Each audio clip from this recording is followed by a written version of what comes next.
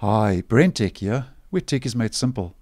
So it looks like Microsoft has started to try and improve the performance of Windows updates on both Windows 10 and 11.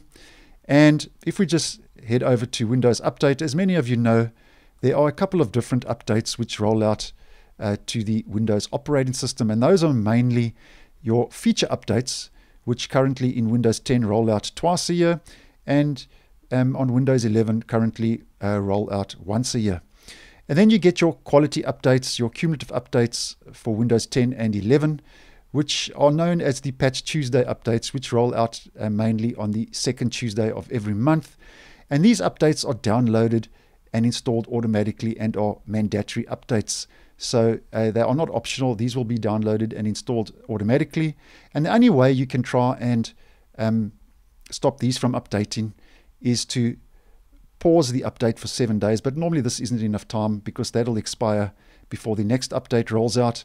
Or you can go to your advanced options, pause updates, and you can select a date further on down the line, which gives you um, temporary pause updates for, from being installed on this device for up to 35 days. So that's normally what most users do who don't want to install the quality updates.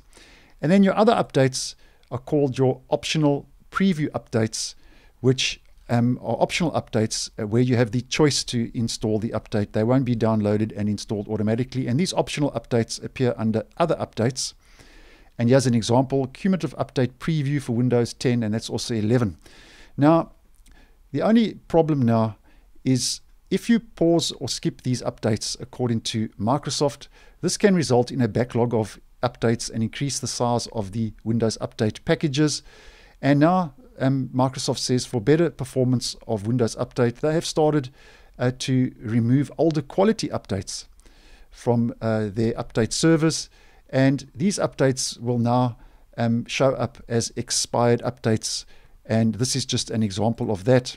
You can see uh, expired, and that was KB50036990, which was released on the 21st of June 2021. So this this up this quality update has already expired. Now, the reason for this is Microsoft says this can improve the performance of Windows updates and reduce reduce the update cache size um, on their servers. And the older updates will then eventually be replaced with newer updates.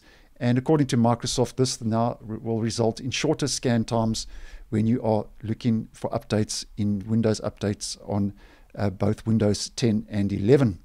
And an expired package, they say, will not show up in Windows Update after it has expired.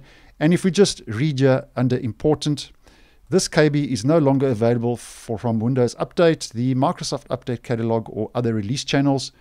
We recommend that you update your devices to the latest security quality update. The latest security quality update is cumulative and contains all the addressed issues in this update. So it doesn't mean because you haven't installed the update, you will miss out on any bug fixes or security fixes. Those are all bundled into the latest quality cumulative update. So I hope you found this video useful. Once again, thanks for watching, and I will see you in the next one.